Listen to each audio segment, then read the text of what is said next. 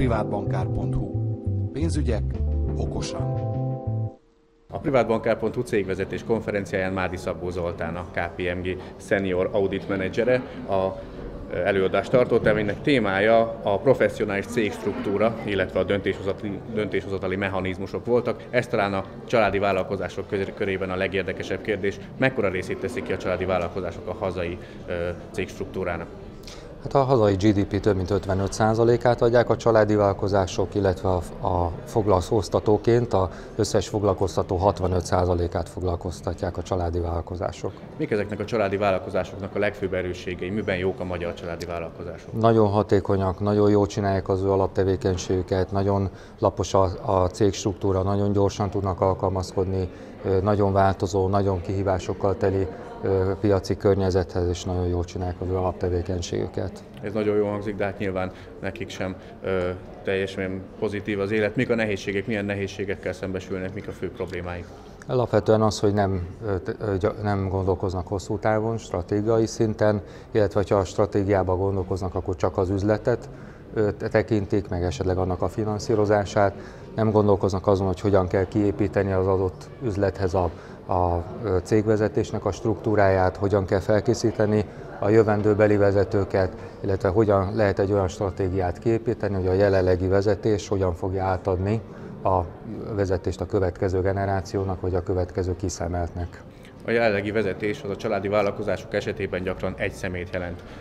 Jó ez, hogyha egy ember kezében van az, a, a gyeplő, egyedül vezeti a cégét? Hát alapvetően jó ez, hiszen így, le, így lehet azt elérni, hogy, hogy gyorsan tudjon reagálni, azzal foglalkozzon a cég, amivel kell, hogy foglalkozzon, gyorsan tud alkalmazkodni kihívásokhoz, azonban az a baj, hogy ez egy nagyon megterhelő feladat, nagyon kötődik a, a társasághoz az egy személyhez, és hogyha a társág értékesítésre kerül, nagy Isten, vagy pedig új vezetőt kell, hogy keresen, akkor ez nagyon nehezen elképzelhető ebben a formában. Fontos kérdés is, előbb-utóbb minden családi vállalkozást utolér a cégutódlás kérdése, hogy ki, kihez kerüljön át akkor, hogyha már nem akarja vagy nem tudja továbbvinni a céget az alapító, illetve az éppen aktuális vezető. Mikor érdemes elkezdeni ezen gondolkodni?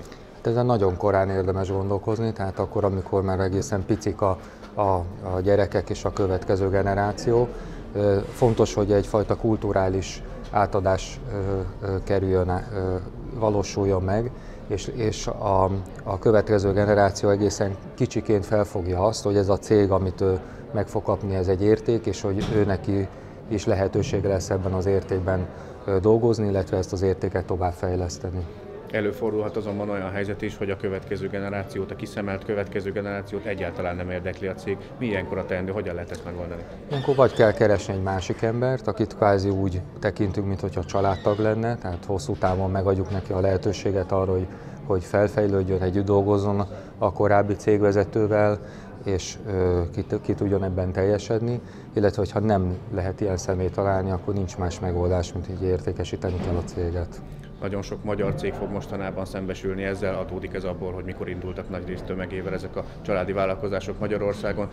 Amennyiben nem indult meg időben ez az utódlási folyamat, lehet mégis mondani egy olyan esetleg életkort, amikor mindenképpen érdemes, érdemes most már a, a, tehát a vége felé jár az életciklus, muszáj elkezdeni a cégnek a, ahhoz, hogy jól működjön tovább az átadását előkészíteni. Igen, tehát az életkort is két oldalról kell megfogni, egyszer az átadó oldaláról, azt lehet mondani, hogy olyan 60-70 év között érdemes ezt a folyamatot meg is csinálni, a fölött valószínűleg nem fog tudni hatékonyan tovább vezetni a, korábbi vezető, illetve az átvevő szempontjából is érdekes az, hogy fontos az, hogy ő ezt a lehetőséget 35 éves kora alatt kapja meg, azért, hogy valóban ki tudja építeni azokat a saját rá jellemző vezetési technikákat és cégstruktúrát, amit utána ő fog tudni hosszú évekig vezetni végül nagyjából össze tudnánk szedni néhány szóban azt, hogy mik azok a sikerfaktorok, amik egy családi vállalkozás esetében fontosak ahhoz, hogy sikerre jussanak.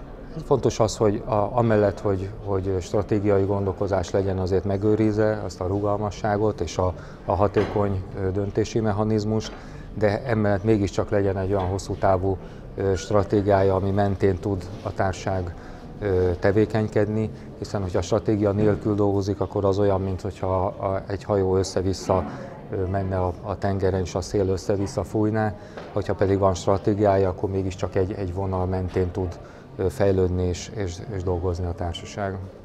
Privátbankár.hu Pénzügyek okosan.